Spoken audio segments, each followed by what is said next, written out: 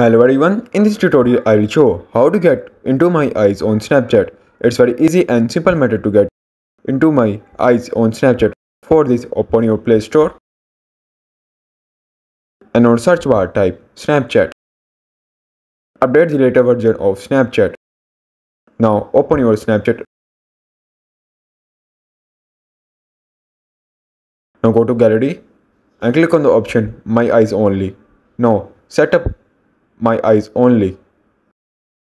Now click on the option setup. Now create your passcode. Confirm your passcode. I understand.